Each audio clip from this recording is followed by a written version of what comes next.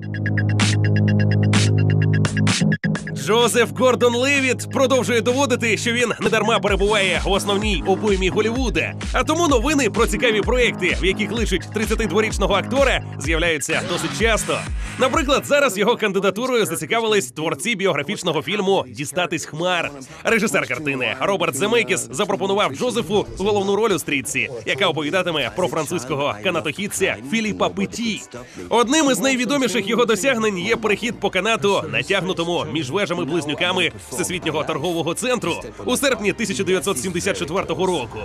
Щодо кіноновинки, то інших її подробиць поки немає. Передбачається лише, що вона стане наступним проектом Земекіса після його драми Рейс, яка вийшла у прокат у 2012-му. А фанати акторського дарування Гордона Левіта зможуть насолодитись їм уже влітку цього року, коли на великі екрани вийде картина Місто гріхів 2».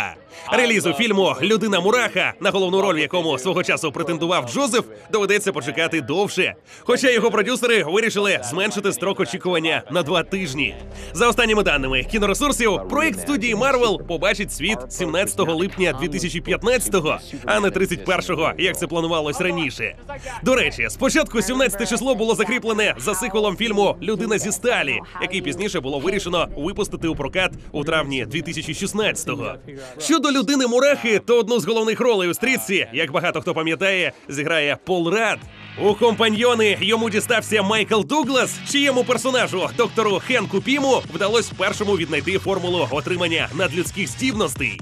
Із виконавицею головної жіночої ролі продюсери новинки іще не визначились, і вони обирають серед Рашиди Джонс і Брюс Даллас Гоуа.